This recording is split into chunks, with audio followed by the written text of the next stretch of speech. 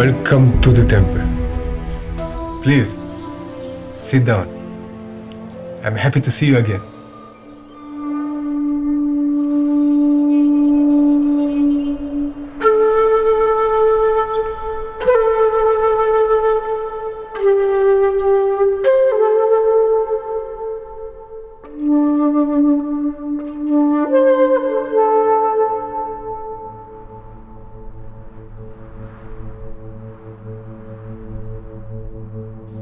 Our body has evolved to effectively deal with stress and danger. It has a special defense system that immediately kicks into higher gear when faced with a threat. It is called the fight or flight reflex and it activates automatically when suddenly confronted with a threat. For instance, a bear when walking in the woods, or a snake on the path in front of you. It activates immediately as a reflex and causes many physical changes in the body.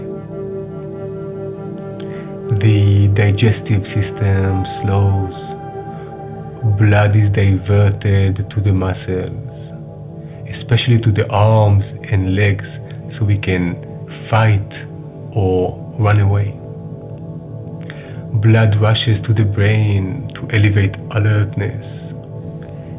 The pupils get dilated so you can perceive a wider picture. Sweat glands are activated.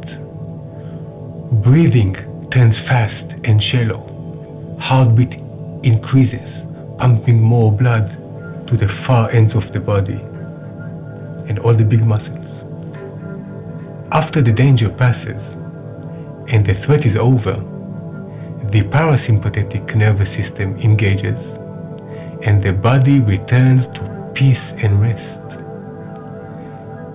The parasympathetic nervous system slows the heartbeat resumes blood to the digestive system,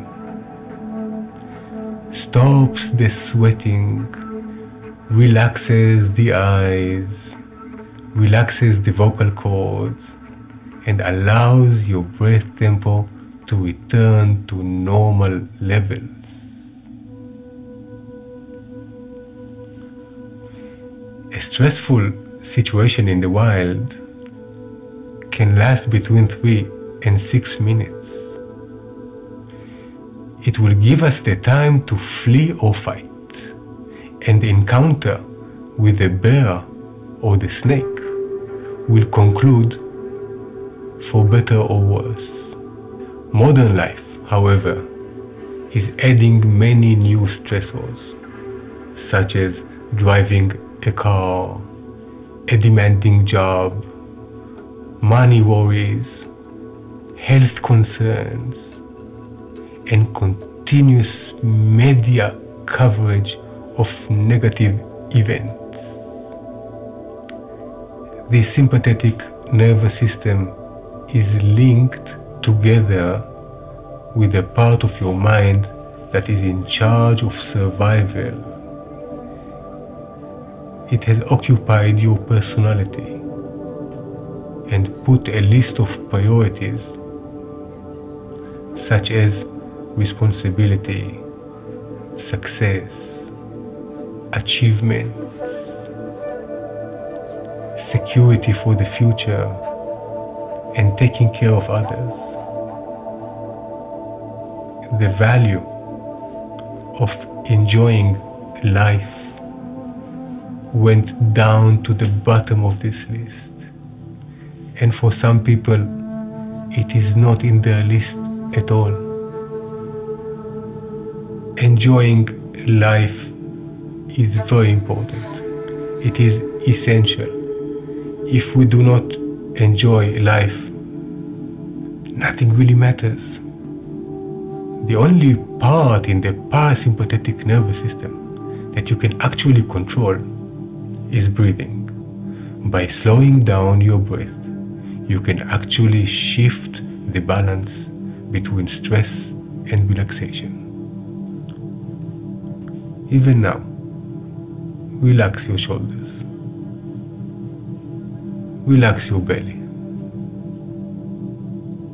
You can close your eyes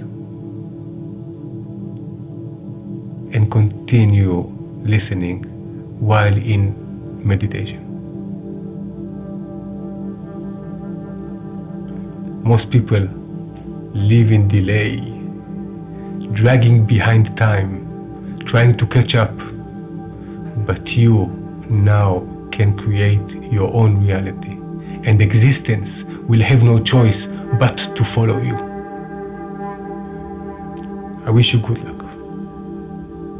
I hope we will meet again.